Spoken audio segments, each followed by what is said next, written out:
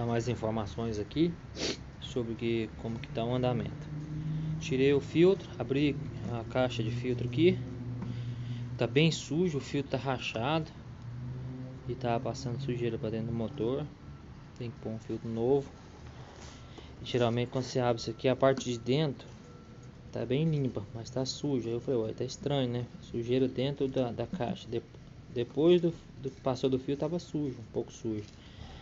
Depois eu vou limpar. Vou pôr um filtro novo. E por enquanto estou esperando o óleo do motor chegar. É, lavei o carburador. Depois eu vou pintar umas coisas no carburador que tá bem. Tá a, casca, o, tinta tá saindo. E é isso. Aí depois né, continua o processo.